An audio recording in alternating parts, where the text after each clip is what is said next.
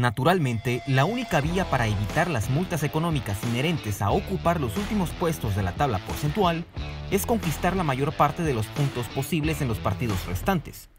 Sin embargo, el destino de Atlas, Atlético de San Luis y Juárez no depende completamente de ellos, ya que de mantenerse la tendencia actual, estos tres equipos estarían condenados a dichos castigos, pues también requieren de combinaciones de resultados favorables en otros frentes. Para la jornada 13 del Clausura 2021, los Bravos acumulan un cociente de 1.1158, producto de haber cosechado 106 puntos en 95 encuentros. El Atlético de San Luis suma 64 unidades en 63 juegos disputados, lo que da un cociente de 1.0159, ocupando así el puesto 17.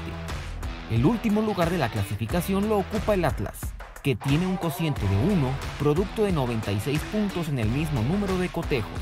Considerando lo anterior, si hoy terminara el torneo Clausura 2021, Bravos de Juárez, Atlético de San Luis y Atlas pagarían las multas por terminar en los últimos puestos de la porcentual.